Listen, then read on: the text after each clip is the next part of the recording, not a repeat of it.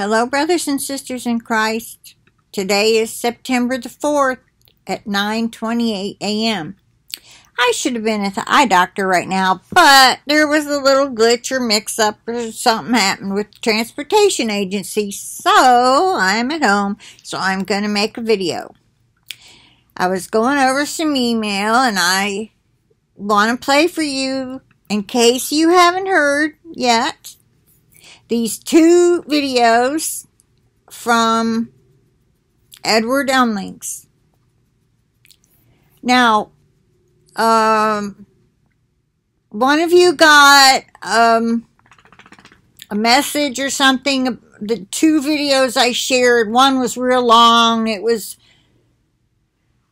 Paul Begley and Mike Around the World that I had said I didn't watch. I was only sharing it for anyone who was interested because you like them already. Okay, and the other was a very, very short one of Edward Umling, like three short words. Like, uh, I think it was Houston, we have a problem, or some, something real short like that. I don't remember which one. Anyway, and you got a vision saying or showing you the words foolishness, uh, silly, something like that. Four words. And discussing it with the team last night, we decided it had to mean the first one, not what Edward Umling said. We we all feel he's hearing from the Lord. And so any of you that hear from the Lord, would you please take it to the Lord as well? Let us all be in prayer and that this man is hearing from the Lord. talking about Edward Umling because I usually, after listening to as many as I have, would have got a red flag by now, and I haven't. So we do believe that the Lord had to have been speaking of Paul Begley and Mike around the world. Okay, so I'm going to play these. Uh, now wait a minute. Only ones. I here's what I did this morning. I went into my settings to brighten my screen and found out that I could make everything bigger. it's great. It's big. I, I can read it all. Okay, but here's the thing. Um, I don't know if it didn't. Let me see what happened. Okay. Whoops. No, that's the Houston one.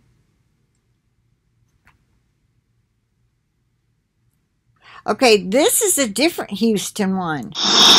As I awoke this morning, Okay. I heard these words See, here's what happened. nuclear attack. All right, so what I'm going to have to do, it won't, it won't hold them up there. So I'll go ahead and play this one, and then I'll go back into my history and play the one I had pulled up for you to go first.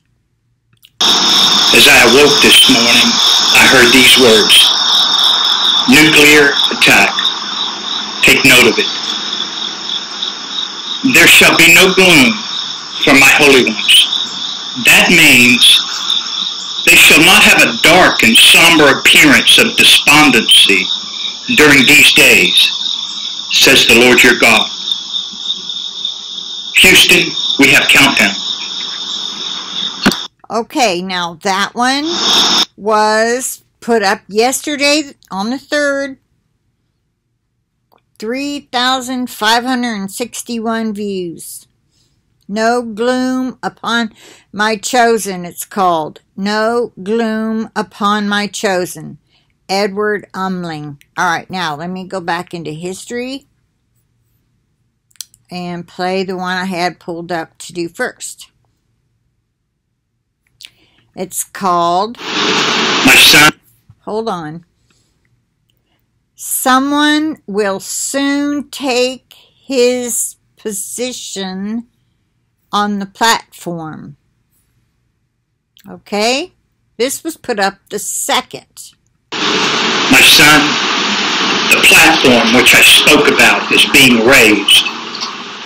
Someone will soon be seated and take his position in the earth. Many will be purified and refined, and the wicked will continue to be wicked. None of the wicked will understand, but those who are wise understand. You know what he's talking about, right? Trump will be gone and the Antichrist will take his place. Now, how it happens, we don't know. He doesn't give a lot of information, just that it's going to happen. We know that already, though, don't we? So um, it's called The Wise Understand. Put up September 2nd, Edward Umling. Okay, so with that, I'll say I plead the blood of Jesus over this video, myself, the internet, my computer, and over each and every one of you and your devices and your internet connections. And I pray that we all are found worthy to escape all these things that are to come to pass and to stand before the Son of Man. Because that's what he was talking about. The wise will have no doom or gloom, or however he worded it. We won't have doom or gloom because we'll be in our glorified bodies going around saving people. How else would we not have doom or gloom? If you're human still, and all these people in cities are dying, even Houston, how can you not? God knows that our hearts, well, doom and gloom, you could say, yeah, we could be sad over dead people and be praying for the ones who survived, but not have doom and gloom as if it's going to happen to us because we know different.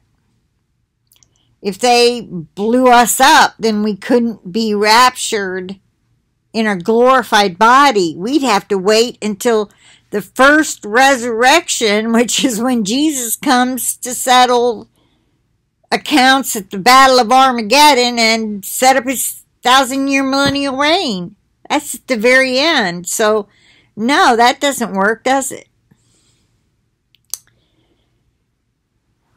In order to have a rapture of souls, persons, that's going to come back and be your harvest army, we have to be living. See? So remember that. We'll pray for everyone we know isn't ready. And be ready ourselves at every moment. Because it can't be long now before we're just snatched up out of here. Transformed into the harvest army. Can you believe it? Oh, y'all, it'd be so wonderful. Okay, I'm going to go for now. Talk to you later.